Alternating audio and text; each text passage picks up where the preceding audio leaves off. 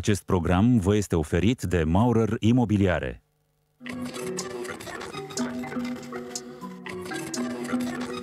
Noi venim cu un alt concept. Noi vrem ca oamenii să înțeleagă că există și lucruri bune care se întâmplă în România. Dintre toate știrile zilei, noi ți le oferim pe cele mai bune. Dintre toți invitații din lumea asta, noi vrem să vină oamenii aceia care cred în valoare, care promovează adevăratele valori. Emisiunea Știrea cea bună este o emisiune de suflet. Este o emisiune în care vezi partea plină a paharului.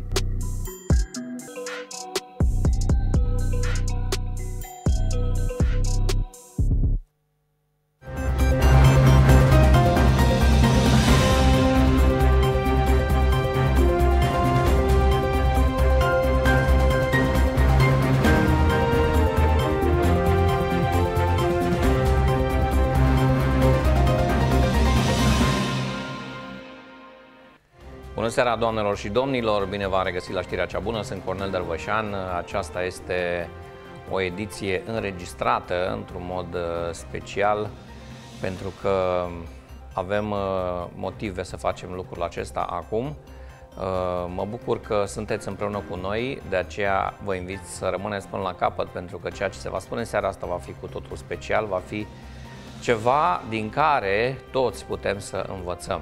Uh, nu avem uh, multe știri, având în vedere faptul că nu suntem profeți, nu o să știm ce se întâmplă mâine sau poi mâine, de aceea uh, avem doar un Smile Moment astăzi, așadar urmează rubrica Smile Moment.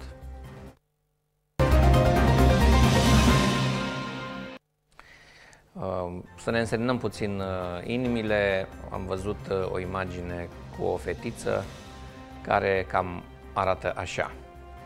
Tăcerea este de aur mai puțin atunci când ai copii. Atunci tăcerea este suspectă.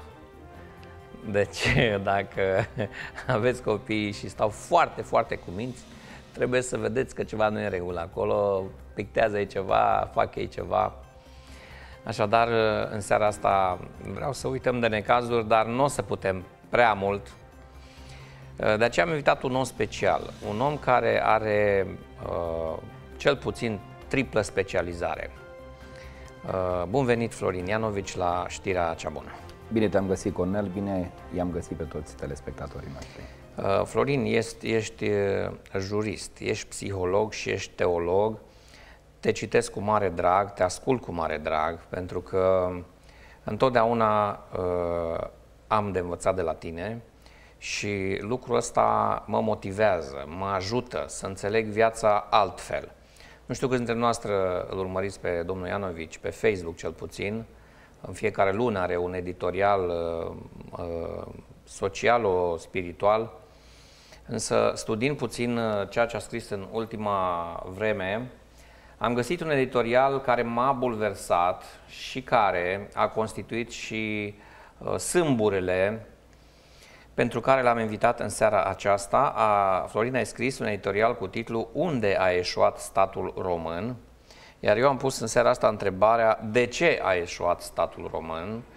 Ehm, iată, suntem deja în încercarea de a ehm, limita numărul morților, de a limita necazul care ne-a lovit pe noi cei deștepți, că suntem cei mai deștepți din lume, cei mai deștepți din Europa, Uh, noi care nu credem până nu murim, um, explică-ne puțin uh, care au fost uh, gândurile care te-au dus la scrierea acestui editorial. Um, o afirmație a domnului președinte Iohannis, care a avut loc atunci când România a traversat o a treia dramă la nivelul spitalelor, și anume incidentul de la Constanța, unde au murit oameni arși ca urmare a unor uh, defecțiuni care țineau de spital. Atunci domnul Iohannis a spus statul român a ieșuat în a-și proteja uh, cetățenii. Am fost uh, într-o oarecare măsură um, interesat uh, să văd dacă continuarea acestui, uh, acestei declarații uh, include o responsabilitate a celui care a afirmat-o. Nu, domnul Iohannis nu era statul român, era doar statul român undeva departe și așa ajungem la unul dintre lucrurile pe care va trebui să ni le, ni le asumăm și anume în raport de cetățeanul român statul român în continuare este perceput ca fiind dușman. Deci marea problemă pentru care ieșuăm și o să vedem o serie de motive pentru care cetățeanul de rând, omul care stă în trafic, omul care se duce la ghișeile acelea uh, unde fereastra este mai jos decât uh, înălțimea ta, ca să te apleci de spate, unde ai de-a face cu tot felul de oameni supărați, au și ei motivele lor, aglomerații, salarii proaste, peste tot uh, în România, oriunde ai de face cu cetățeanul de rând, de la intrarea într-un supermarket și a pasnicului care îți, uh, îți spune ce ai de făcut, tot românul consideră la ora actuală că statul român este inamicul lui și aici eu cred că există marele eșec pentru că, mai ales acum când se pune problema solidarității, uh, faptului de a accepta îndrumări de la instituțiile de specialitate, românul nu mai are încredere în autorități. De ce am ajuns aici, uh, putem să discutăm. Da. Uh, Florin, înainte să continuăm pe linia aceasta, aș vrea să spun uh, o durere de-a mea, pentru că la știrea cea bună, noi zicem știri bune, dar în seara asta îi rog pe dragii noștri privitori să ne ierte și să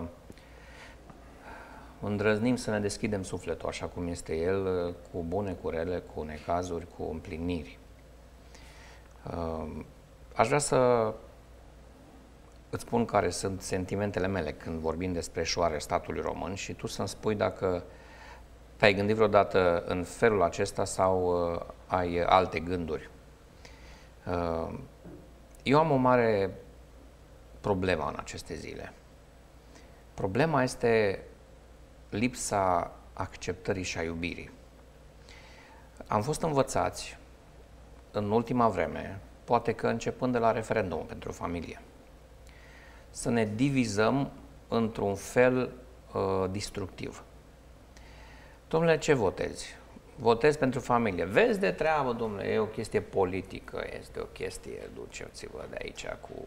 Ia lui Dragnea, ia lui Cutare. Bun, suntem ridiculizați. Vin ceilalți și spun, domnule, acum vedeți că nu s-a întâmplat nimic din ce a zis voi. Două tabere.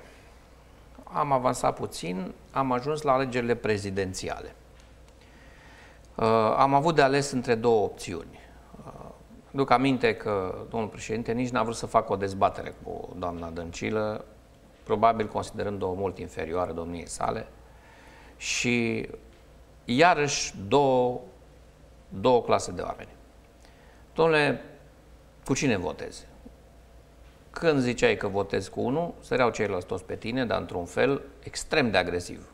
Extrem de agresiv. Și am zis, băi, uite, hai să treacă momentul ăsta și să ne ducem și noi măcar să nu ne mai certăm atâta, să nu ne mai... Ei, a venit pandemia. În momentul în care a venit pandemia, ne-am născut toți brusc microbiologi, specialiști, și a început bătălia... Teologi. Teologi, da. A început bătălia între vaccinați și nevaccinați. Iar această bătălie surdă,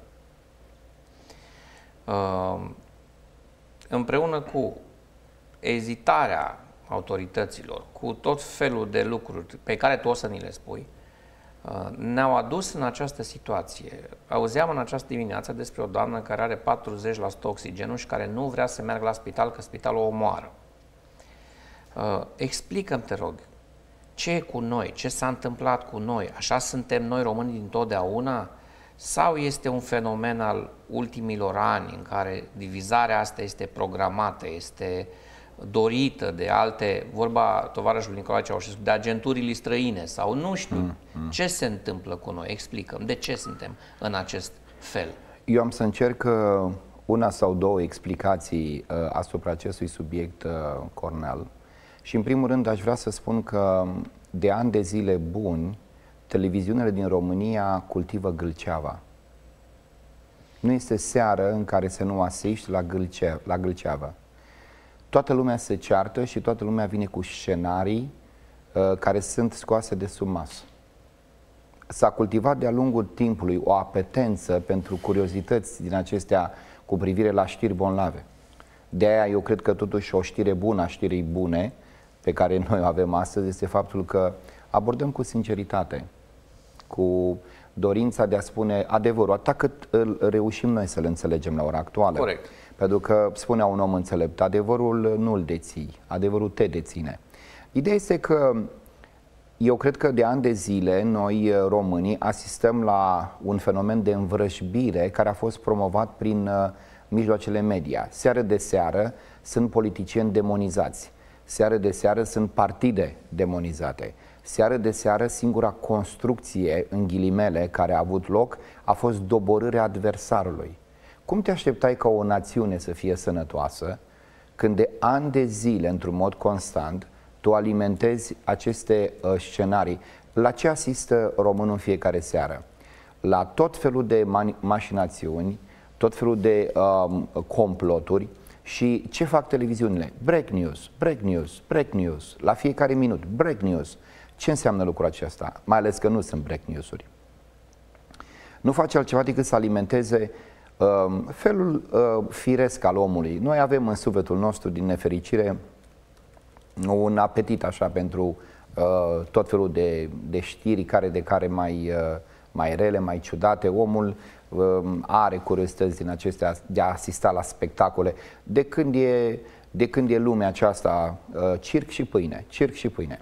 E, atunci, din punctul ăsta de vedere, în primul rând, consider că noi am fost alimentați constant uh, cu acest gen de uh, gândire, pentru că te influențează, mass media te influențează. Deci ăsta ar fi un prim factor. De ani de zile, ciuma roșie, uh, Uh, hepatita galbenă, uh, ca să zic așa, uh, galbenul corodat, ca să nu se înțeleagă altceva nimic, se luptă unii împotriva altora, se um, disprețuiesc, se acuză. Și atunci, cum anume să dezvolți o națiune sănătoasă în care respectul față de cel de lângă tine să fie cultivat? Doi, condițiile de trai. Condițiile de trai uh, care sunt extraordinar de grele la ora actuală. Asistăm la un val de scumpiri fără precedent. Uh, combustibilul a sărit de 7 lei, gigacaloria se anunță de la nivel apocaliptic. Uh, salariile românilor uh, nu merg înainte. Pe fondul sărăciei și a luptei pentru supraviețuire se dezvoltă din nefericire acest instinct al supraviețuirii cu orice preț, în detrimentul valorilor etice. Pentru că etica, să-mi fie iertat ce spun acum, de nu ai un caracter puternic ancorat în principii care să nu se uh, clatine, etica este influențată de nivelul de trai. Doi, să vă dau un exemplu. Am asistat uh, în Germania la modul în care respectă germanii traficul și respectă. E frumos în Germania, toți stau cu minți, dar am văzut germani venind în România care goneau ca nebunii. Și aruncă pe geam. Da, motivul este că amenziile din România sunt foarte mici în raport de cele din Germania sau în Austria se prinde radarul, te-ai lipsit de 300 de euro cât îi spune Doamne ajută.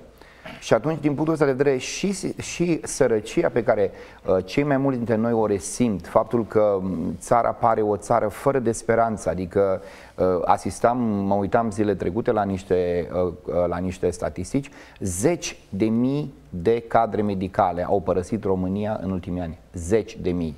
Și am voie să spun că dacă nu li se mărea salariul, noi astăzi nu mai aveam nici cât avem. Dar și acum sunt, uh, eu am discuții uh, foarte uh, directe cu cadre medicale în comunitatea unde eu îmi desfășor slujirea, sunt 14 doctori și 23 sau 24 de asistente medicale. Și acum îmi spun că în fiecare zi se luptă cu gândul acesta de a părăsi sistemul medical. Din mai multe lucruri, datorită surzeniei și aici ajungem la un alt factor care cred eu că a demolat foarte mult și a erodat foarte mult încrederea românului în stat, și anume politizarea managementului. Deci nu se promovează oamenii pe uh, criterii de competență. Ajunge cineva de care nu știe nimeni nimic profesional. Te trezești mâine cu Xulescu și pe care te chinui să-l înveți cam cum merge treaba vreo șase luni de zile. Asta în condițiile în care se lasă învățat, pentru că atunci când vii pe criterii politice, când managementul majorității instituțiilor fundamentale, vorbim despre spitale, vorbim despre, uh, știu eu, uh, uh, în mod deosebit că avem criza asta medicală, dar și a instituțiilor fundamentale sub aspectul um, bugetului local, sub aspectul bugetului județean. În momentul în care ai gătuit aceste instituții fundamentale, da? le-ai gătuit, că vorbim de, nu știu, casă de pensie, că vorbim de lucruri care sunt foarte, foarte importante pentru români. Când le-ai gătuit cu un management politizat, și uh, vine un politician, n-am asistat noi, tot, tot românul a văzut, nu mai cunosc exact, dar era Direcția Națională de Ape, când uh, un om de o competență maximă, cu un CV impresionant, dar și cu uh, mărturii din partea colegilor, a fost înlăturat pentru ca să vină un om politic și în înregistrările acelea care, mă rog, lăsăm la o parte mm, fenomenul legal, cum să obțină, nu mă interesează, era o discuție de genul, dar ce vrei, unde să-l duc? Măcar la ape să-l duc, nu? Atunci în momentul acela sigur că asistăm la ce? Asistăm la prăbușirea unui întreg sistem pentru că nu îl construim pe bază de competență, ci de comisionarism. Și atunci acest, această politizare a managementului instituțiilor fundamentale e, e, este, este de natură să uh, ne aducă prejudicii. Dacă în managementul spitalelor apar indivizi care nu au competențe profesionale, care nu înțeleg fenomenul, pentru că nu e o problemă doar de cifre, ești și cum să înțelegi sistemul. Cum poți să eficientizezi un sistem pe care nu-l înțelegi?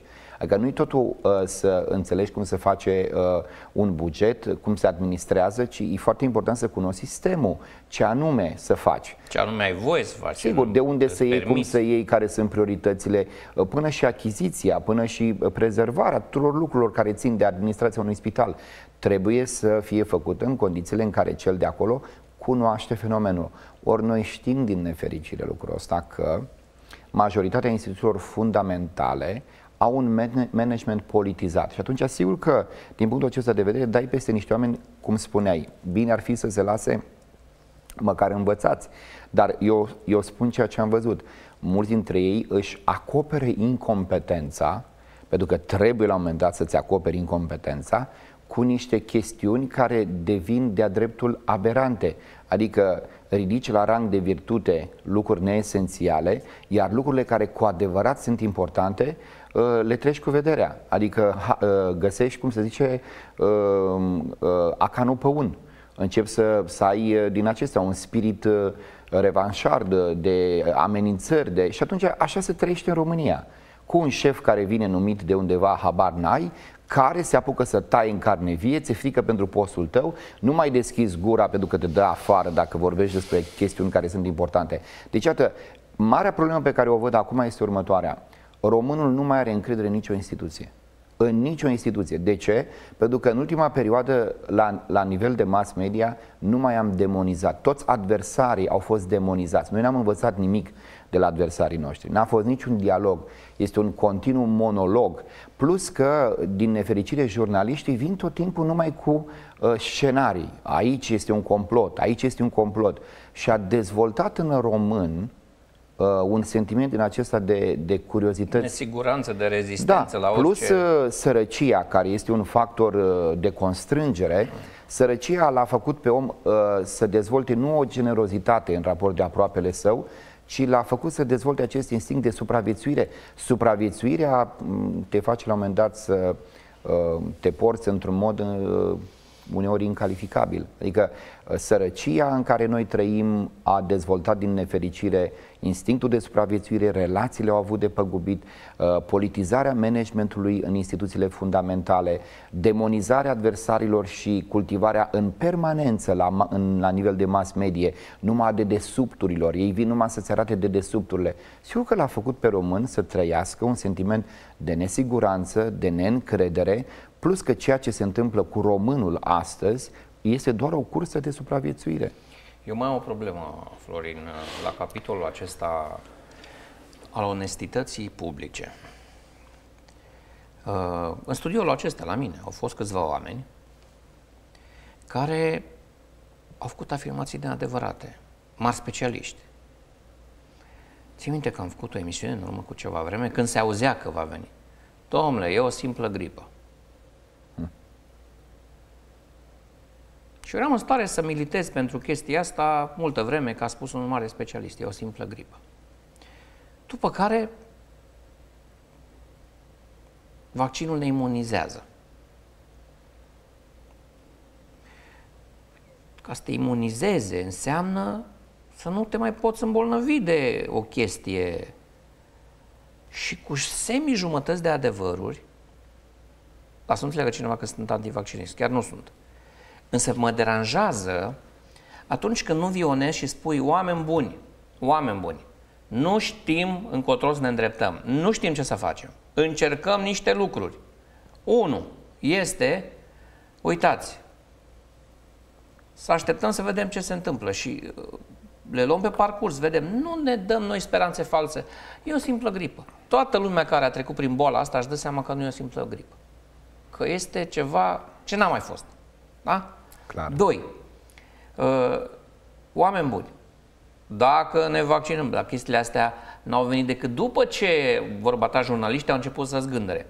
Dacă ne vaccinăm, nu înseamnă că nu mai putem lua boala. Fii, domnule, onest și spune, nu înseamnă că nu mai putem lua boala, dar avem șanse foarte mari ca să nu murim. Ce alegem? Da? Mi-a plăcut o uh, ilustrație pe care a folosit-o cineva, un jurnalist, în, uh, într-un ziar, în Libertatea. Ai centura de siguranță. Uneori, datorită centurii de siguranță, mori.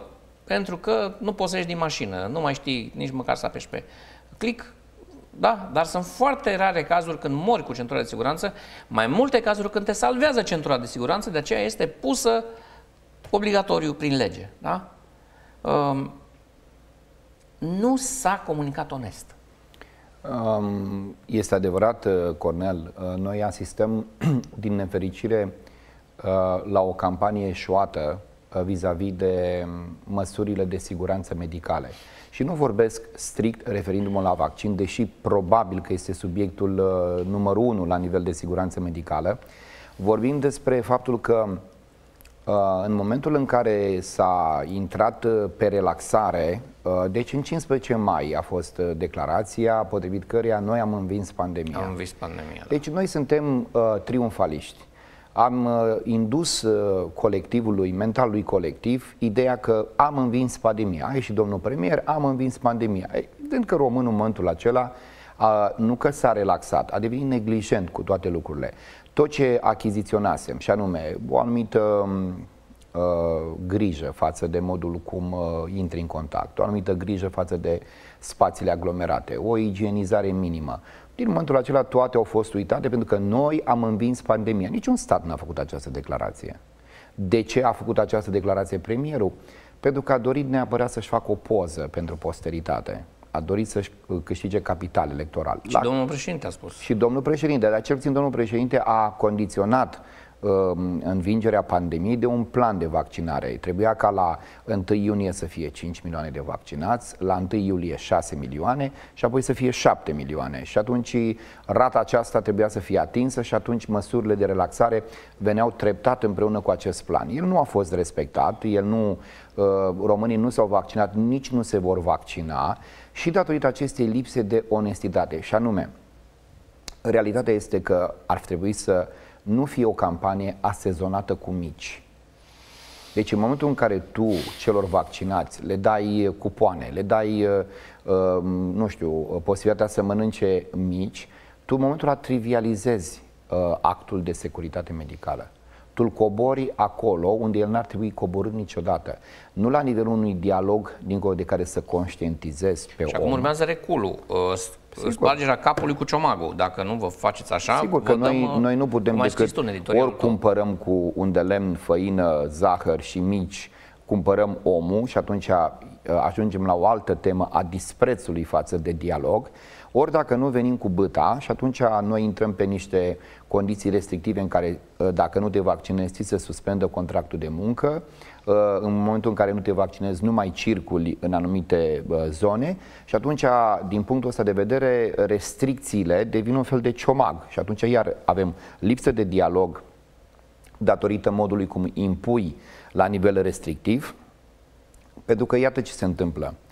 Noi mutăm acum lupta de pe domeniul securității medicale în domeniul drepturilor fundamentale. Și atunci uh, nimeni nu este atât de naiv, atât de naiv, cât să nu se zizeze că deja acum noi avem o un risc unei pandemii mai grozav decât pandemia aceasta medicală, și anume suprimarea unor drepturi fundamentale care au fost câștigate cu prețul unei revoluții în România. Dreptul de a decide asupra actului medical, dreptul de a avea libertate de circulație, dreptul de a-mi exprima opiniile potrivit convingerilor religioase, dreptul de a decide asupra intervențiilor medicale. Deci, în primul rând, trupul meu este al meu, nu este proprietatea statului. În loc să ai un dialog onest, susținut, argumentat, tu vii cu două extreme. Prima dată, mă tratezi ca prostul, și anume îmi dai mici și mi spui despre, uh, faci niște, niște campanii uh, din acestea siropoase cu uh, atingerea corzii sentimentale în loc să vii cu statistici, cu cifre și uh, vreau să mai deschid aici un dialog și anume faptul că uh, la televiziune nu au venit oamenii care au avut ceva de spus. Trebuia să vină oamenii cu expertiză, necunoscuți poate opinii publice. Nu, au venit aceiași analiști care sunt pro sau contra și care de ani de zile se situează deja pe o anumită direcție, analiștii, cu tot respectul, analizează știrile, informațiile, ei nu sunt specialiști medicali. Trebuia să fie un debate, trebuia să fie centre locale, zonale, regionale, de debate, cu invitarea oamenilor, cu invitarea reprezentanților din, din partea civilă, în care să se discute argumentat, pe, pe argumente. Și anume, ce argumente trebuia să audă românul? Da, este un vaccin experimental. Da, încă nu se cunosc efectele adverse pe termen lung. Este scris în declarația pe care o semnezi când te vaccinezi, în caz că o faci.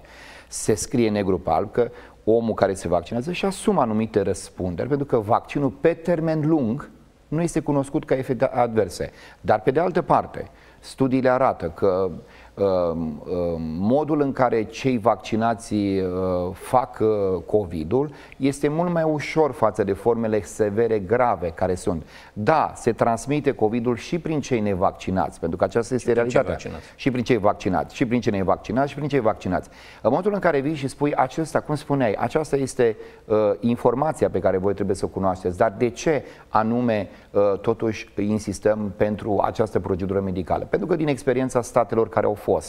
Uh, am ajuns la aceste convingeri. Iată, Portugalia sau alte state care, uh, mă uitam aseară, Italia sau alte state care au fost groaznic încercate. Italia a fost, nu, din ce știu eu, a fost una dintre cea mai încercată uh, țară. Da, nu, în Sardinia a fost grozav. Dezastru. Dezastru. Deci, um, puteți să vii cu un dialog onest în care să spui, exact cum spuneai tu, asta nu o știm încă.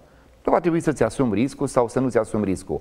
Să ții cont de faptul că există la un moment dat dreptul omului de a dispune asupra trupului lui, dreptul omului de a se raporta la o convingere da, religioasă. Da, să lucrezi la nivelul convingerilor personale. Dar nu cu mici și nu cu băta. Între mici, mici și bătă. Nici cu bătă. Între mici și bătă. Asta a fost stat român. Deci cine să aibă încredere? Pentru că eu încă te spun, eu nu am avut, deci îl văd pe uh, reprezentantul uh, Uh, îl văd pe reprezentantul uh, campaniei de vaccinare, da? Uh, domnul colonel, care vine și ne spune una și ne spune alta, dar dincolo de ceea ce dânsul vorbește, eu, eu nu văd uh, un om extraordinar de informat, un om care să-mi spună și plusurile și minusurile și care să spună în felul următor, aveți libertatea plătită scump de a decide cum doriți, dar ar trebui să se vorbească într-un mod deschis, onest, să vină medicii, să vorbească, dar oamenii care au expertiză pe teren, nu oamenii care sunt pe statul de plată a unei televiziuni.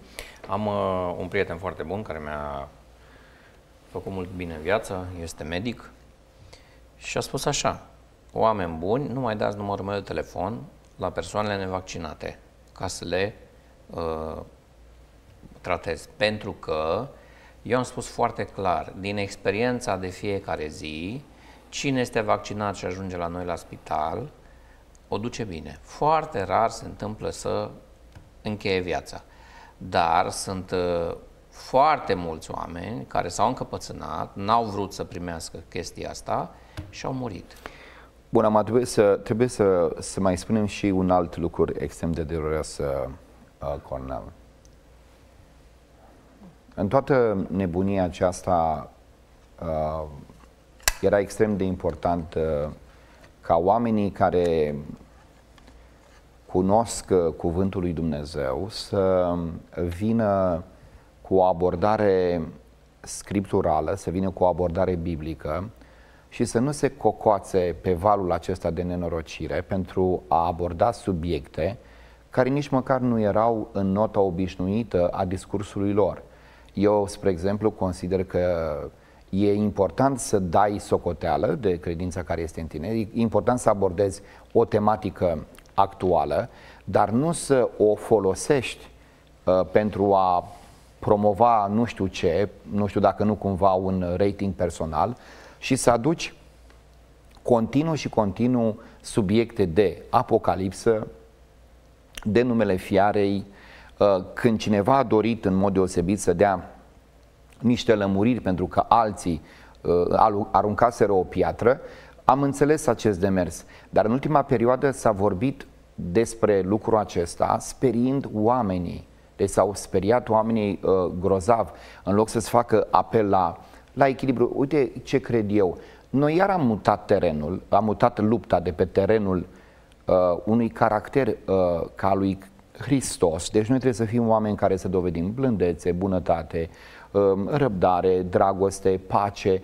În loc să rodim într Hristos, noi am intrat în lupta pro-vaccin, anti-vaccin, uh, cei ce nu se vaccinează se socot mântuiți doar prin faptul că ei nu se vaccinează, că ei sunt eroi lui Hristos și nu mai realizează că au mutat lupta de pe un teren care cu adevărat contează pe un teren care este fals. Pentru că în momentul în care tu ai acest uh, spirit combativ, ba mai mult decât spirit combativ, tu ești extrem de vehement și violent chiar în expresie față de cei ce nu-ți împărtășesc opinia ai ta. Ai uitat uh, esența. Tu ai sărit de pe terenul uh, luptei pentru mântuire. O să spui ce înseamnă luptă pentru mântuire. Înseamnă că în momentul în care am crezut, eu trebuie să rămân în această credință, făcând uh, faptele pe care Dumnezeu mi le poruncește, respectând poruncile pe care Dumnezeu mi le dă. Nu eu creez mântuire, dar rămân în mântuirea care mi-a fost dată. Deci noi am creat un nou teren fals în care credem că dacă nu ne vaccinăm, suntem eroi lui Hristos. Să mă ierte cineva că folosesc poate un asemenea termen, după cum cei ce se vaccinează nu sunt deodată luminații, da? pentru că noi trebuie să căutăm cuvântul Dumnezeu să ne lumineze zilnic. Dar noi ne-am împărțit în două tabere, cei vaccinați se cred luminați și disprețuiesc pe cei care sunt nevaccinați, iar cei nevaccinați îi blamează pe cei ce s-au vaccinat ca fiind lepădați de credință. Și atunci, de unde vin lucrurile acestea? Vin și de la faptul că am avut din nefericire o serie de mesaje care ne-au panicat, care nu au făcut bine, și în al doilea rând, de ce să nu o recunoaștem uh, din punctul ăsta de vedere, este testul pe care îl dă și biserica. Îl dă biserica la nivel de învățătură, îl dă biserica la nivel de rodire, îl dă biserica la nivel de caracter, pentru că în România trebuie să recunoaștem că, fiind o țară uh, proeminent ortodoxă, a avut foarte mare influență faptul că anumite vârfuri ale ortodoxiei, cum și în fenomenul evanghelic anumite vârfuri, oameni vizibili, ca să nu folosim un termen care este subiectiv, au venit cu anumite precizări sau au tăcut atunci când ar fi trebuit să vorbească. Cum vezi această situație? Cum ar fi trebuit biserica să abordeze problema aceasta? Deschis. Sunt uh, biserici care și-au asumat. Da, Suntem sunt, pro-vaccinare. Da, sunt biserici care s-au... Eu, eu nu pot, uh, Cornel, să, să mă declar decât pro-Hristos. În ce sens? În sensul în care dacă eu uh, aș da sfaturi, uh, ținând cont că primesc zilnic e mail sau diferite mesaje în care se spune, pastore, să mă vaccinez sau să nu mă vaccinez. Cornel, dacă eu aș spune cuiva vaccinează-te și ar face o reacție adversă, întâmplătoare sau nu știu, și ar muri omul respectiv, cum aș eu în fața lui Hristos? Dacă i-aș spune cuiva nu te vaccina și omul nu s-ar vaccina, s-ar îmbolnăvi și ar muri, cum stau eu în fața lui Hristos? Corect este să spun ceea ce spune Biblia. Ținând cont că e o procedură medicală, trebuie să mergi pe baza încredințării care nu se împrumută Încredințarea înseamnă să te rogi, să cercetezi lucrurile, să fii în cunoștință de cauză, să stai de vorbă cu Domnul Dumnezeu, să ai o motivație corectă. De ce spun o motivație corectă? Presupunând, presupunem la un moment dat că vaccinul care nu este suficient testat ar putea să dea anumite reacții adverse. Un om credincios, dacă ajunge la concluzia că trebuie să aibă o motivație bună, domne, fac lucrul acesta pentru protecția familiei, fac lucrul acesta pentru că uh, la locul de muncă trebuie să câștig o pâine, să o aduc copilor acasă. Sunt oameni care au fost confruntați cu asemenea situații, eu nu le inventez. Și în momentul acela în care motivația este de acest gen și te rogi lui Dumnezeu, oare Dumnezeu nu ne apără? Presupunând că în ceea ce te privește pe tine ar fi o reacție, da? o dinamică individuală care ți este negativ, adică reacția ar fi una negativă din punctul al vaccinului sau că suntem păcăliți, suntem înșelați, hai să mergem pe mâna uh, unor oameni care spun că vaccinul este o înșelătorie, că de fapt se urmărește altceva, controlul populației. Bun, să zicem că ar fi așa. Motivația ta este corectă, tu te rogi lui Dumnezeu, tu postești, tu îi spui, Doamne, nu mi este frică să mor, dar trebuie să aduc pâine acasă, uh, vreau să fie protejați cei din casa mea și dacă motivația ta este bună, și te rogi lui Dumnezeu, de ce nu ai încredere că Domnul Dumnezeu te va ocroti? De ce să funcționeze ocrotirea lui Dumnezeu doar într-o direcție și nu funcționează și în altă direcție? Dumnezeu ne ocrotește și când ne luminează să nu facem anumite lucruri, dar dacă nu ne-a luminat sau nu suntem luminați și am făcut-o, Dumnezeu ne protejează și atunci când cineva are o practică dolozivă, există niște viclenii la mijloc, deci, din punctul ăsta de vedere, nu aș putea să dau un sfat cuiva, spune vaccinează-te sau nu te vaccina, pentru că nimeni, uh, Cornel, nu poate să determine care va fi reacția. Sunt oameni care s-au vaccinat și le-a fost foarte bine. Sunt oameni care s-au vaccinat, le-a fost foarte rău, ne-au murit. Și atunci, din punctul ăsta de vedere, nu putem să ignorăm acest lucru. Că numărul celor care vaccinați fiind sunt mult mai bine, că există niște statistici, da? Deci peste 90% din cei ce s-au vaccinat sau 92% nu au avut reacții adverse, sunt bine mersi. Și vin uh, oamenii și spun așa, da, o să vedeți voi peste 2-3 ani de zile. Pot să vă spun și eu ceva? Ai garanția că îi mai apuci pe ăștia 2-3 ani de zile? Că aici este întrebarea. Noi discutăm acum ce se va întâmpla peste nu știu câte vreme. De mai apuci dacă tu tratezi lucrurile în felul ăsta? Că să trebuie să mai apuci, nu? Da. Uh Vreau să intrăm puțin uh, mai departe în uh, editorialul tău și ai spus ceva incredibil. Statul român a eșuat pentru că noi am folosit aroganța în locul smereniei. Da. Uh, ce înseamnă asta? Uite, Cornel, în momentul în care tu, fiind cel mai înalt, vârful reprezentative a unei țări, vii și folosești expresii de genul v-am dat cu flit sau folosești expresii disprețuitoare la adresa unei categorii de oameni, mare, mică, deși vorbim de 3 milioane, 3 milioane și jumătate. Uh, pe de o parte, tu folosești cuvinte care înveninează și aduc în discuție această batjocorire, dar mai există și alte lucruri uh, care arată aroganța cu care statul român și-a tratat cetățenii, și anume, ai un congres la congresul acela să faci o poză care ajunge națională în care tu le spui românilor că de Paște vor fi mulți în sicrie, dar tu stai bine mersi la costum, ă, fără niciun element de protecție și știm bine la cine ne referim și la ce facem ă, referire. Plus, încă un lucru, indiciile acesta de incidența cazurilor de îmbolnăvire. Cum se face că în, până în momentul în care ai avut tu Congresul Național, incidența aceasta a fost scăzută, cum se face că în iulie, august, cât au fost luni de concedii, tu ai fost profet și ai spus uh, virusului stai cu minte și nu-ți arăta colții, dar ai anunțat apocalipsa de toamnă și ai spus că din septembrie vine valul 4. E normal că oamenii nu doar că au suspiciuni, este evident că asta este o manipulare, este evident că cifrele nu mai poți să ai încredere în ele și atunci acest gen de a trata oamenii disprețuitor se plătește astăzi cu viața inocenților, pentru că ne-am pierdut încrederea. Păi nu se poate ca tu să-mi spui mie uh, stați în casă de sărbătoarea nașterii Domnului că veți muri pe capete, tu te duci la un congres și mm, pur și simplu ai o atitudine din aceasta irresponsabilă, până în congres datele sunt ok, București este ok și a doua zi după congres a explodat, s-a triplat și oamenii au început să moară. Uh, până în timpul verii, bine mersi, incidența a fost extrem de scăzută, dar de dată ce a anunțat că în septembrie va veni valul 4, cu minte valul 4 s-a aliniat. Adică sigur că românul se simte manipulat și manipularea este o formă de dispreț. Adică mă tratez ca pe cineva ieftin. Eu nu cred din punctul ăsta de vedere că semnale de alarmă în vară nu au fost. Au fost. Au fost dar au fost ignorate cu bună știință pentru că a contat altceva. Vrei să spun ceva? Am avut uh, două emisiuni uh, cu doi medici, prieteni ai mei, despre valul 4 și am pus întrebarea, credeți că va veni valul 4 și așa mai departe? Dacă te uiți acum pe YouTube, sunt emisiunile acolo, cât hate am luat, că ce facem, că vorbim speriem niciun, oamenii. Că speriem oamenii și așa mai departe. Și chiar nu au vorbit oamenii tendențios sau știi că mie nu-mi place să arunc anxietatea în public. Eu chiar sunt pentru lucrurile bune, pentru știri bune, pentru încurajările oamenilor și așa mai departe, dar uh, felul în care s-a raportat foarte mulți români la acest pericol, pentru că este un pericol, este incredibil pentru mine. Deci nu pot să-l uh, înțeleg și nici nu pot să-l Da, noi nu avem acest gen de uh, asumare um, a responsabilității, nu avem răbdarea să construim.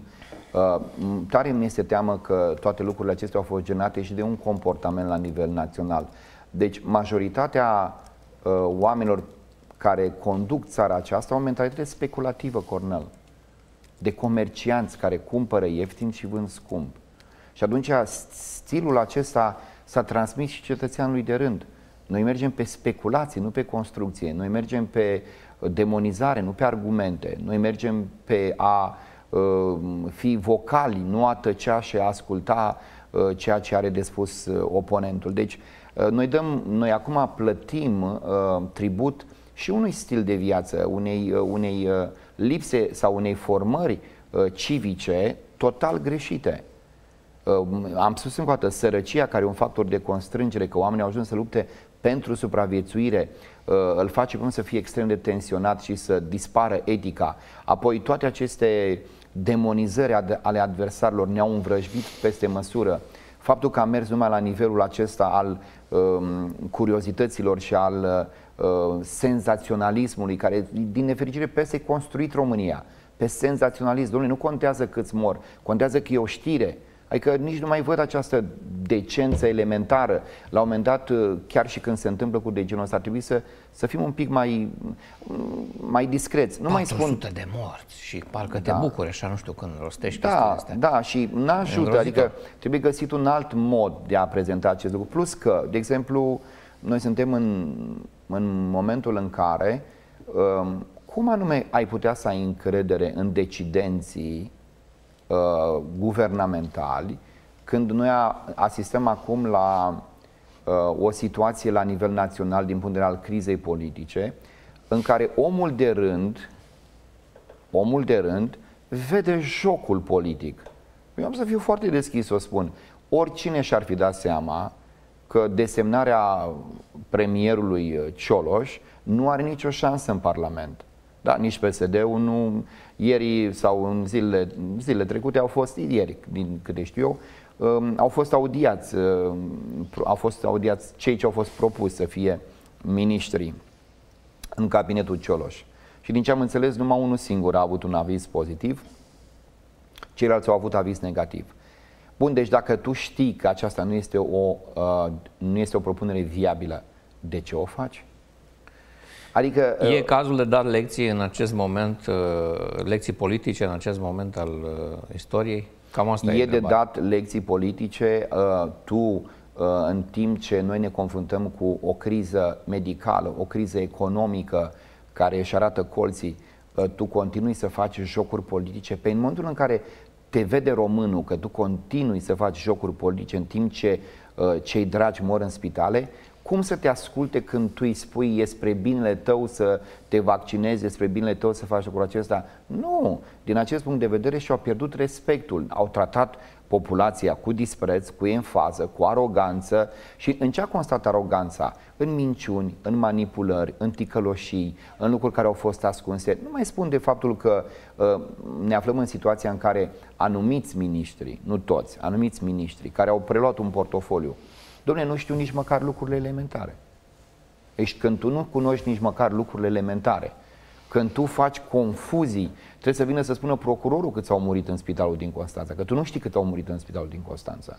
Pe cum să mai aibă omul încredere în tine? Pentru că pe ce se construiește la nivel de decidenți politici respectul? Pe profesionalism, pe competențe. Eu nu-ți văd caracterul, pentru că tu vorbești 5 minute la televizor, dar pe competențe, pe profesionalism.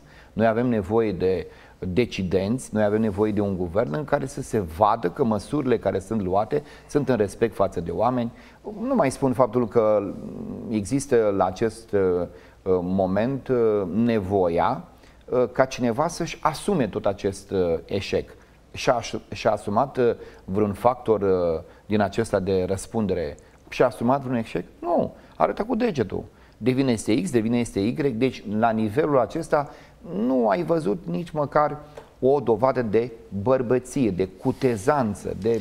E, e o chestie de demnitate să poți să spui, uh, domnilor, am greșit. E după ce domnul președinte a spus statul român a ieșuat în a proteja viața cetățenilor, s-a delimitat de statul român, nu s-a inclus spunând ceva de genul nu, e vina mea că n-am făcut lucrurile acestea, o să-mi asum sau... Nu, nu, deci pur și simplu este un impersonal, este un reflexiv, s-a greșit, nu am greșit, da? Totdeauna este un reflexiv, totdeauna este o fugă de responsabilitate și atunci um, cum să capete cetățeanul de rând încredere în statul român. Nu, statul român, la nivelul percepției, facem un sondaj pe stradă, mergem și întrebăm, aveți încredere în statul român? O să fii surprins dacă 10% din cei care uh, răspund zic da. Deci statul român nu mai are credibilitate în ochii cetățeanului. Tot ce înseamnă autoritate, că e autoritate politică, că e autoritate administrativă, că e autoritate medicală. Aici e problema. Chiar și autoritate medicală da? Că până acum, până acum, a, și nici măcar autoritate bisericească. Nici până măcar, acum nu. mai era, domnule, Smurdu, biserica, erau niște instituții în care avea încredere. Da, domnule. Dar acum, iată că domnul Arafat este demonizat uh, de mari specialiști, iată că uh, biserica nu se implică nici da, eu fel? Am, eu am avut o dezbatere um, televizată, transmisă online, um, acum două săptămâni, pe această temă, a modului cum te raportezi la autoritate, la aceste mișcări de demonstrație pașnică care erau uh, propuse, la modul cum te raportezi la vaccin.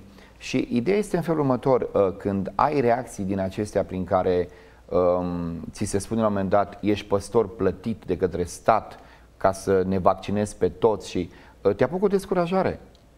Te apucă o descurajare și te întrebi care este rezultatul muncii tale de ani de zile în a semăna sămânța cuvântului Dumnezeu. Deci, din punctul acesta de vedere, te apucă o descurajare. Eu știu că nu putem să luăm după vocea unui om, dar sunt extrem de vocali. Uh, din nefericire există foarte, foarte multe influențe. De ce? Pentru că, din nefericire, și noi ne-am construit crezul pe comparații umane.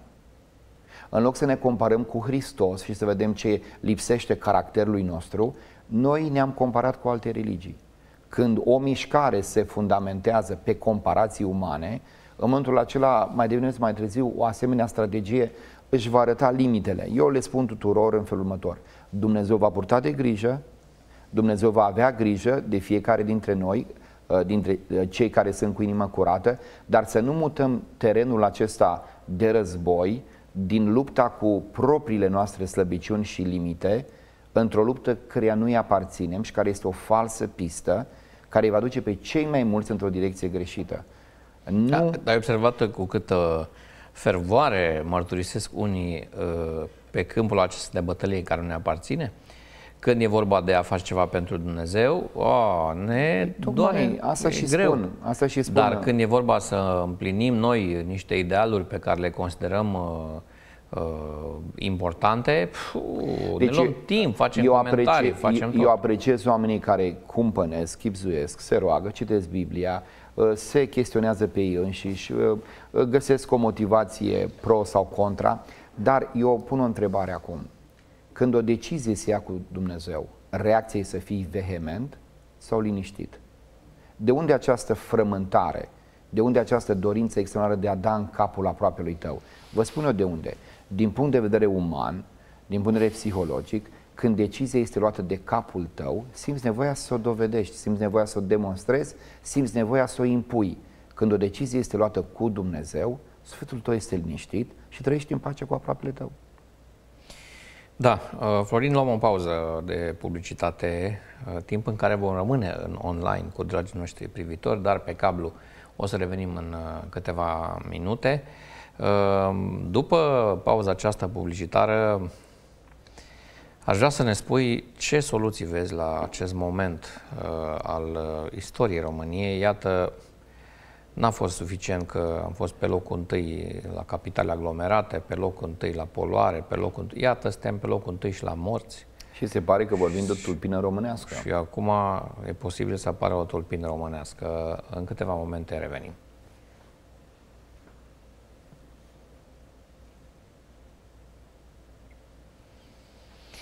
Uh-huh. Rămânem în online cu da, da. prietenii noștri de pe Facebook. Uh, nu suntem profeți să vedem ce reacții vor fi. Sunt convins că vor fi și pro și contra. Da, nu e nicio problemă. E normal să fie și pro și contra. Am văzut că te străduiești să le răspunzi da, multora. Da, tuturor aproape. Tuturor aproape. Tuturor, da. Da, trebuie să existe, uh, soluția este dialogul onest, cineva trebuie să o facă. Deci eu, în momentul în care am deschis o pagină de Facebook, am deschis în dreptul meu o responsabilitate de a nu trata pe oameni ca pe niște fani. Deci cei mai mulți își tratează oamenii care sunt pe pagină ca pe niște fani. Îi saluți grațios din mână, le zâmbești. Vă mulțumesc tuturor celor care mi-ați urat. Da, exact, Frumos. exact. Ca să încapă toți acolo. Da, da. Nu, eu răspund aproape fiecăruia și mai ales celor care sunt contestatari, care poate chiar au un dialog uh, nepotrivit, uh, calități pe care Pierzi timp sau câștigi? Nu câștig, nu, nu pierd timp. Trece timpul. Uh, consumă timpul, dar la nivel de câștig, e câștig. Și să spun de ce. Pentru că momentul în care scrii unui asemenea om cu echilibru, nu e neapărat pentru el. Dacă te uiți din punerea efectului personal, la nivelul celui care vorbești, ai zis și ți-ai pierdut timpul. Dar atâția oameni îmi scriu și spun, este incredibil modul în care aveți răbdare. Uh-huh. Și am spus, așa ne iubește și Dumnezeu. Și va trebui să o faci și tu, așa cum o fac și eu. Și am zis, pastor, învăț de la tine. Sunt absolut uh, mișcat de modul în care reușești să ai răbdare cu fiecare.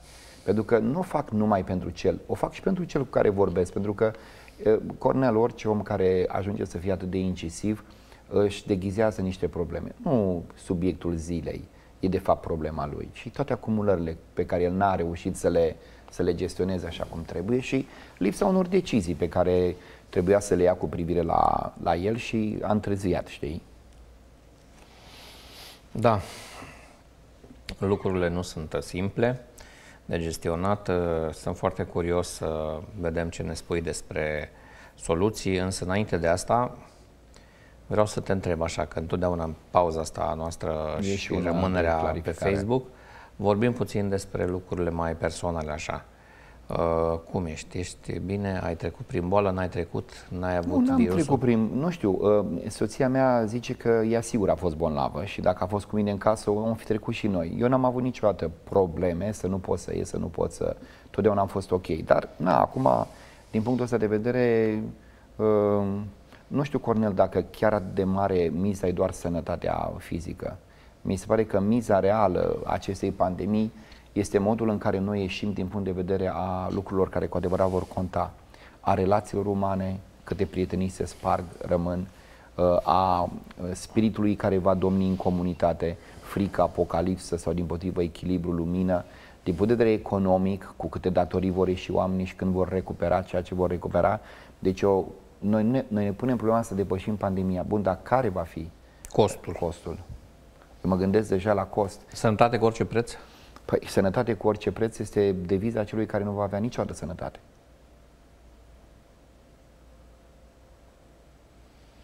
Nu există sănătate cu orice preț, nu există nimic cu orice preț. În afară de credință cu orice preț, altceva, nimic nu există.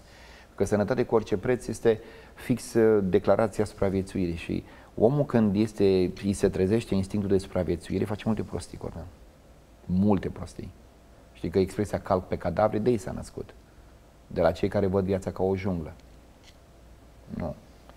Deci acum să, să sperăm că, acum eu din punctul meu de vedere um, sper ca să se calmeze criza politică, să avem un guvern stabil, deci asta în primul rând, să fie un guvern de reprezentare națională, pentru că nu se mai pot face alianțe, da? Deci toate sprăpădite. Stabilitate politică cu un guvern de reprezentare națională. Ai văzut că am scris și un editorial uh, cu o adresă, uh, doar păi, că după prima nominalizare mi-am dat seama că nu ține nimeni cont de momentul acesta istoric, care să, băi, să fie o chestie în care oamenii, hai să ne dăm mâna, hai să vedem ce putem, cum putem scoate țara din impas.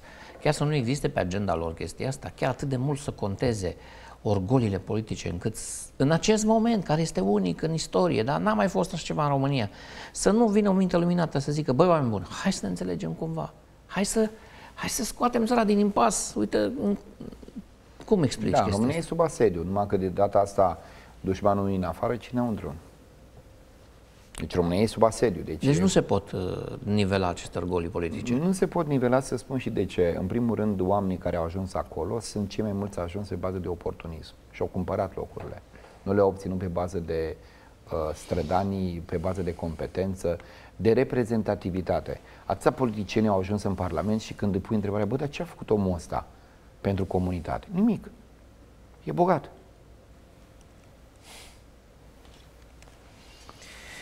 Da. Cum uh, să merge comunitatea în care activezi, pentru că Mă, știu e că plin, activezi. e plin.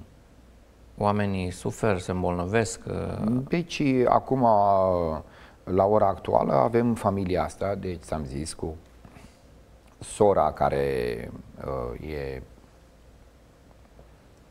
infectată de virusul uh, conspiraționismului și a neîncrederii în spitale.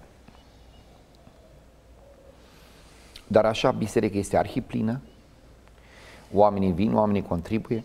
Crezi Oamenii... că vor mai hotărâ să închidă săli, biserici? Da. Da. Deci eu cred că în seara asta toate bisericile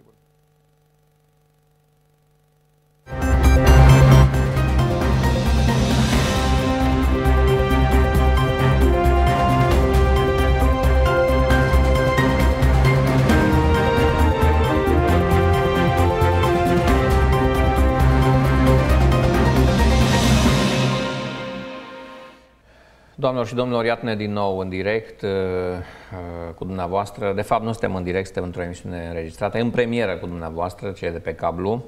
Am rămas aici în, online cu uh, invitatul nostru deosebit, uh, domnul Florinianovici, jurist, psiholog și teolog și cred că are o expertiză deosebită în a vedea anumite lucruri pe care noi nu le vedem.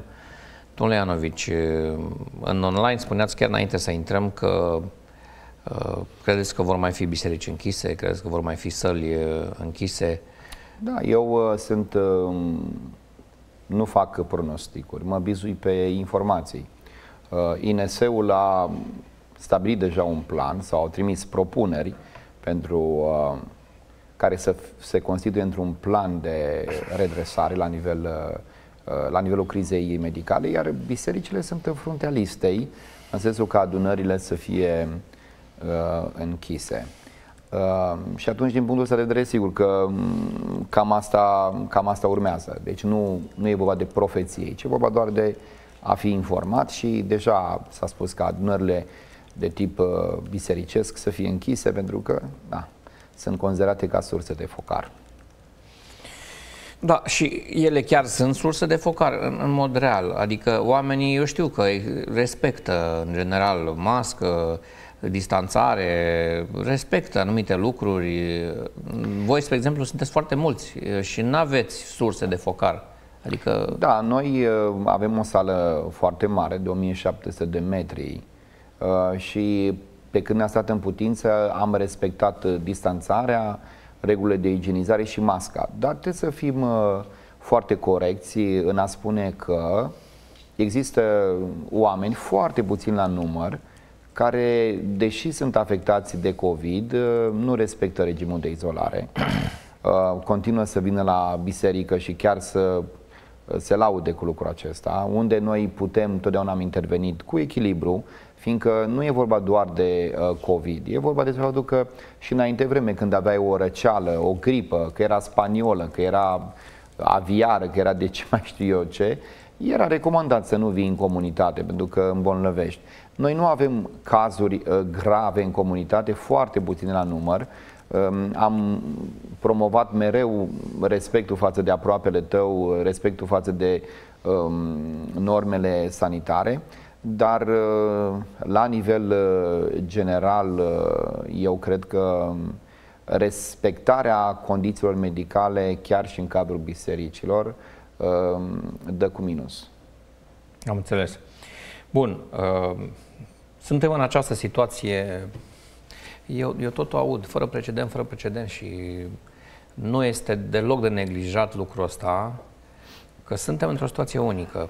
Ce soluții vezi acum, Florin, atât din punct de vedere politic, cât și din punct de vedere al uh, măsurilor sanitare, atât din punct de vedere psihologic, iată, e și psiholog, cât și din punct de vedere al reacției oamenilor, biserica, crezi că se poate implica cu ceva? Povestește-ne ce, ce da, crezi eu că ar trebui făcut. Văd un palier de acțiuni uh, care să fie coroborate între ele, fiindcă un singur set de acțiuni nu are cum să ducă la un final pozitiv. Deci noi trebuie să ne coroborăm eforturile. Deci pentru asta trebuie să ne însănătoșim în primul rând la nivel politic. Noi suntem bonlavi la nivel politic. Uh, alianțe rupte, um, incapacitatea de a forma un guvern. Deci primul pas pe care trebuie să îl așteptăm și um, noi cred că fiecare la rândul nostru trebuie să facem presiune acolo unde, unde suntem pentru uh, factorii politici, că e vorba de deputat, că e vorba de senator, trebuie transmis, trebuie intrat pe paginile lor, trebuie vorbit și uh, primul lucru care trebuie făcut este ca această criză politică să ia sfârșit trebuie să se formeze un guvern care să fie stabil, un guvern de reprezentare națională, un guvern tehnocrat. Nu se poate în acest moment ca un partid minoritar să-și asume formarea unui guvern, pentru că nu va fi susținut. Și atunci toate deciziile la nivel legislativ vor fi totdeauna uh, uh, împiedicate, nu numai că și dacă vor trece, că la un moment dat anumite legi trebuie să treacă pentru că prea sunt de interes vor fi contestate rezultatele, vor fi contest, va fi contestată maniera în care se aplică legea și atunci nu e niciun folos. Deci ne trebuie un guvern uh, care să fie fie de reprezentare națională, fie de tehnocrați, care să-și asume uh, guvernarea în aceste momente, deci ne trebuie stabilitate politică. Ce pot să fac eu este ca acolo unde am acces pe paginile uh, decidenților politici, că vine senator, de președinte, să scriem, domnilor, Vă rog să vă reveniți, să vă fie rușine pentru circul pe care îl faceți, oamenii mori, voi vă certați, uh, voi nu încheiați o altă criza politică, trebuie un pic de presiune făcută de către oameni pentru cei pe care i-am trimis să ne reprezinte. Deci, în primul rând, trebuie încheiată criza politică. În absența uh, acestei stabilități politice, noi suntem expuși atât pe plan național, dar cât și pe plan internațional. Deci noi ne-am făcut deja de râs cu brio. Deci deja se vorbește despre instabilitatea politică, despre corupție, despre incapacitatea guvernului de gestionare. Păi de ce a venit de reprezentantul OMS în România? Să ne felicite? A venit pentru că mm, nu doar vaccinul că este la o rată foarte mică, a venit și pentru faptul că este un semnal care ni se un semnal tras de autoritățile internaționale privitoare la incapacitatea statului român Um, de a gestiona uh, siguranța medicală. Deci, din punctul ăsta de vedere, în primul rând, stabilitatea politică prin uh, faptul de a avea un guvern care să se apuce să lucreze este esențială. Ce văd în al doilea rând, este un lucru care este extrem de important, este ca specialiștii uh, din diferitele domenii importante să aibă curajul uh, să vină cu uh, o anumită luare de poziție. Deci, la nivel medical, noi avem acum nevoie de specialiști care să iasă și să-și asume un dialog care să se bizuie pe argumente de ordin științific, pe argumente care țin de practică, pe argumente care țin și de... Și special domeniul medical te referi, nu? Domeniul medical, dar trebuie să aibă curajul să o facă. Curajul de a susține punctul de vedere care uh, ar putea să ajute populația să înțeleagă un lucru sau să înțeleagă alt lucru. Pentru că noi suntem bombardați cu tot felul de știri, suntem bombardați cu tot felul de informații. Sorin, ce cu chestiile astea? Că mă omoară cu zile. Deci apare uh, unul care a lucrat la un vaccin, uh, s-a dezis de vaccinul pe care l-a făcut.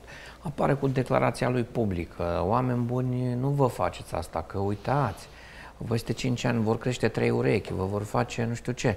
Apare următorul, uh, mare specialist, imunolog, toată viața a fost cu tare, cu tare, cu tare.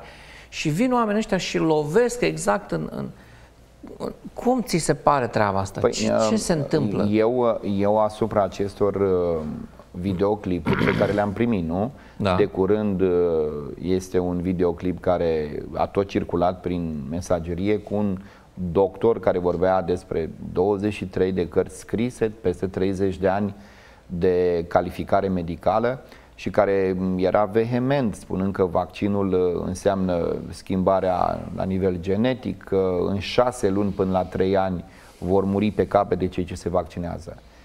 Când spun că specialiștii trebuie să aibă curajul să iasă, tu trebuie să răspunzi, răspunzi punctual. Marea problemă este că nu poți să răspunzi general la uh, amenințări care sunt particulare. Deci acest videoclip, de exemplu, care circulă și care e peste tot și altele asemănătoare care au un impact da, devastator asupra conștiinței, ele trebuie luate și dezbătute, da? deci în loc să, uh, în loc să aud seara la știri um, cine se ceartă cu cine se ceartă, ce mai a făcut partidul X, ce mai a făcut partidul Y, să se invite specialiști să se discute despre aceste afirmații, pentru că acestea ar putea să ducă într-o direcție sau alta. Eu de unde să știu dacă sunt adevărate în condițiile în care eu sunt un nespecialist? Eu aștept ca specialiștii să se pronunțe. Eu nu înțeleg de ce nu se fac discuții pe asemenea materiale care sunt promovate. Deci nu ai idee cât de mult contează această manieră de a primi în secret, în privat, videoclipuri din acestea. Te face părtaș unei mari, mari, unui mari secret. Deci funcționează foarte puternic lucrul ăsta, la nivelul mentalului, da? Wow, am primit ceva, vedeți că o să șteargă imediat Facebook-ul și culmea este că Facebook-ul șterge. șterge, da? Sau uh, YouTube-ul sau oricare alte platforme șterge. Și ce alimentează asta? Deci în momentul în care tu îl interzici, în momentul în care tu nu îl dezbați, în momentul în care tu nu vorbești deschis vis-a-vis de anumite materiale care sunt extraordinar de derutante. Păi dacă vine cineva și spune sunt uh, cel ce am lucrat la uh, vaccinul de acest tip și acum eu îmi retrag suportul și spun că nu e bine și el îți spune mă numesc și sunt doctor. Păi dacă nu vine cineva să ne spună punctual ce se întâmplă, cum se întâmplă, care e explicația, păi eu am tendința să cred acest videoclip. Și atunci dacă specialiștii nu își asumă în mod deschis o opinie să discute, atunci dacă tu nu, discu- nu discuți, unu, fie e frică, da? frica de a ieși și a spune, fie dacă nu înseamnă că au dreptate. Tăcerea specialiștilor nu face altceva decât să alimenteze toată această zvonistică și frică vis-a-vis de vaccinul acesta. Acum, de curând am primit un alt uh, videoclip Uh, cu cineva care analiza, analiza mai multe mostre de vaccin și acolo în mostra aceea de vaccin am văzut o ființă din Astra care arată precum o lăcustă cu mai multe tentacole și femeia aceea care era pe un post de televiziune, mă rog, nu era național, dar era totuși un post de televiziune, uh, a reușit să bage frica mulți prieteni de-ai mei. Și nu am ce să le răspund eu, Florin Ianovici, că eu nu am luat și n-am capacitatea să iau vaccinul, să-l pun la microscop dar pot să o facă alții în laboratoare specializate și să ia strat cu strat și să ne explice ca la proști, iertați-mi expresia. Deci dacă specialiștii nu vor avea tăria să vină să discute despre lucruri punctuale care frământă cetățeanul de rând, eu vă spun că nici cei ce s-au vaccinat prima dată nu se mai vaccinează a doua oară, ca să nu mai spun de booster sau de a treia oară. Deci și lucrul ăsta Uh, uh, contează. contează enorm. Deci ar trebui să se răspundă amenințărilor care sunt punctuale. Că dacă cineva a venit și a spus, eu am 23 de cărți scrise, de 30 de ani doctor și își dă numele. Păi spus, își asumă omul. Da, își asumă. Dacă vine cineva care a făcut un vaccin și spune, eu am lucrat în echipa internațională sau... E, ce, sigur că lucrurile acestea sunt credibile, pentru că oamenii ăștia își asumă iar cei care spun că ne vor binele și ne spun vaccinați-vă, nu-și asumă discuții cu hârtiile pe masă. Pentru că în lipsa acestor discuții, um, Oamenii cred, da. prevalența este. va fi de partea celor care uh, primesc în cutia poștală asemenea filmulețe. Deci specialiștii trebuie să-și, să-și asume o um, luare de poziție oficială în care să discutăm cu hârtiile pe masă, plusuri și minusuri. Exact cum spuneam de la începutul emisiunii. Dialogul onest în care poate la anumite capitole să, să spui nu știu. La capitolul acesta încă nu avem date suficiente. Nu știm. Poate să fie așa, poate să fie așa. Dar câte vreme circulă aceste materiale cu specialiști care își dau numele. Că e suficient să vii să spui informator. Apropo, by the way, oameni buni, numele ăsta nu există, da? Numele ăsta nu sau există. Și omul ăsta a făcut aceste afirmații pentru că chemat, nu? Deci omul acela sunt convins că a fost chemat undeva. A fost un debate. Cineva i-a tras, i-a tras atenția, nu? Există un colegiu, nu la noi în țară, doamnea Flavia Groșan, nu? Când a avut acea schemă de tratament. N-a fost chemată la colegiu, nu s-a făcut un, o dezbatere națională. Femeia aceasta n-a dovedit că schema ei medicală funcționează și colegiul medical nu a luat nicio măsură împotriva ei. Deci femeia și-a dovedit spusele. Și asta de ce? Pentru că s-a dus cu o mie de oameni, s-a dus cu televiziunea după ea. Deci noi avem nevoie de asemenea uh, discuții în care specialiștii să vină, domnule, să, să ne spună, domnule, nu e adevărat. Sau, domnule, e adevărat. Dar dacă tu taci, deci dacă tu taci, cu siguranță că oamenii vor spune e adevărat. Deci tăcerea aceasta este o tăcere care la rândul ei este criminală. Deci, sfârșirea crizei politice, specialiștii să iasă în față cu pieptul dezvelit, să spună oameni buni, ia uitați-vă la videoclipul ăsta. Nu-l mai credeți. Ăsta e un impostor. Nu zice... Avem următoarele date. Exact. Avem următoarele pac, pac, argumente. Pac. Uitați, luăm noi acum și facem în jumătate de oră o analiză a unui vaccin, luăm strat cu strat, microscop cu microscop, vă luăm parte în lucrurile acestea, să vedeți și voi cum este, da? Uite, ca să fie lucrurile extra, extraordinar de clare, am invitat, nu știu, pe cineva care nu-l cunoaștem, da? Să, cu doza de vaccin. Nu, uh, uite, vă rog frumos, sunați dumneavoastră și spuneți un număr și numărul acela să fie o doză de vaccin oarecare. Deci se pot uh, crea uh, circumstanțele unui, uh, unei discuții în care oamenii să poată să aibă până la urmă o părere care să fie fundamentată, pentru că la acest moment, de ce să nu recunoaștem, Cornel, inclusiv cadre medicale. Deci noi vorbim despre specialiști din sistemul medical care avansează ipoteze înspăimântătoare. Ori dacă specialiști din sistemul medical avansează ipoteze înspăimântătoare și reacția autorităților este să le închidă gura, nu să deschidă un dialog, atunci sigur că eu am niște suspiciuni grozave. Și atunci eu cel care, poate care eram câștigat de o anumită parte a discuției, încep să-mi pun întrebări. Deci uh, asta ar fi uh, extrem de important. Și uh, consider că o a treia acțiune care trebuie realizată este cea potrivit căreia Trebuie ca um, autoritățile să încerce să schimbe mentalitatea cetățeanului de rând. Nu cu frică, nu cu ciomag, nu cu mici. Nu, ci ar trebui prin respect, prin dialog, prin acordarea până la urmă a unei uh, uh, protecții de minimă supraviețuire. Adică până la urmă trebuie statul să-și recupereze creditul pe care l-a pierdut. Eh, nu știu dacă lucrul ăsta va fi posibil, nu știu cât va dura, dar dacă vor fi acțiuni eh, a unor oameni care vor dovedi că iubesc mai mult poporul decât poziția, că iubesc mai mult, eh, știu eu, securitatea și că își doresc ca oamenii să fie protejați decât să se protejeze pe ei, atunci probabil că se va schimba raportul acesta. Acum nu vorbim doar de suspiciunea românului. Deci noi am depășit capitolul suspiciunii sau a neîncrederii în guvern. Nu, nu. Guvernul, guvernul, autoritățile, statul român, prin tot ceea ce înseamnă autoritate, e dușmanul declarat al omului de rând. Deci românul percepe, percepe, percepe autoritățile ca fiind dușmani. Deci noi suntem la nivel de dușmănie.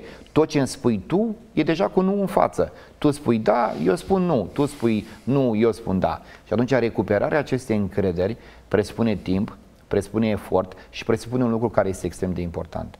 Și anume, recâștigarea încrederii pe baza unei construcții bazate pe competență. Unde am pierdut, unde s-a pierdut încrederea la nivelul autorităților, este încă o dată, s-au promovat oameni pe criterii politice, pe comisionarisme și nu pe competență. Dacă statul român va avea o construcție pe competență, atunci omul de rând va începe să respecte. Pentru că eu spun sincer, în fața unui specialist, eu tac. Pentru că mi-e rușine să vorbesc. Tac în fața unui specialist. Cel puțin eu o fac, tac în fața unui specialist. În fața unui om care are competențe. De a venit de curând la noi uh, doamna doctor Rodica Maloș și a vorbit despre faptul că peste o mie de pacienți pe care i-a tratat nu i-a pierdut pe niciunul.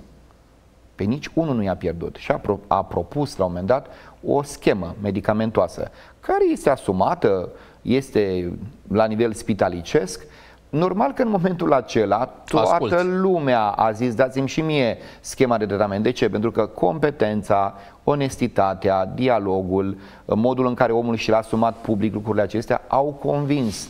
Atunci cred că este foarte important ca românul să-și recapete uh, uh, până la urmă încrederea și să se termine cu toate aceste demonizări, cu toate În 30 aceste... de secunde ce trebuie să facă oamenii simpli, în afară de autorități și medicali? Noi ce trebuie să facem? Noi ar trebui, în primul rând, cred eu, să um, ne întoarcem spre noi înșine. Eu sunt de părere că trebuie să ne întoarcem spre noi înșine, să ne întoarcem spre uh, cercul de apropiați, deci stabilite relații cu oameni care să fie valoroși în viața noastră, deci ieși din circul ăsta de la nivel național, întoarcerea spre sine, o cercetare la nivel personal și îi rog pe toți, îi rog pe toți, deci unul dintre lucrurile pe care îl fac în privința mea și îl rog, și, îl rog să faci și în privința ta, nu deschide gura dacă n-ai ceva de spus folositor. Mulțumesc foarte mult, Florin Ianovici, pentru această seară și pentru aceste vorbe uh, pline de înțelepciune. Doamnelor și domnilor, uh, împreună cu noi a fost uh, Florin Ianovici, uh, jurist, psiholog, teolog. Uh, distribuiți această emisiune să audă cât mai mulți din cei care sunt factori de decizie, dintre cei care sunt factori de decizie.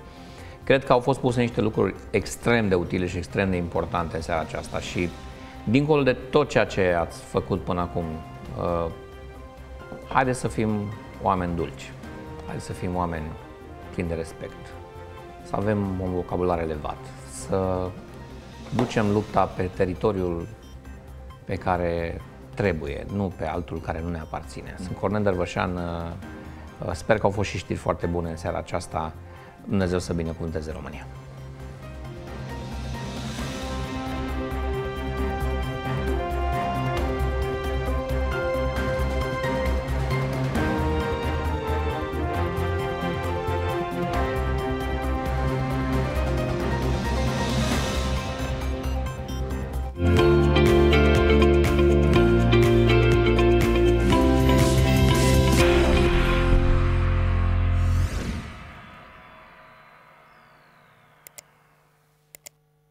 Acest program a fost oferit de Maurer Imobiliare.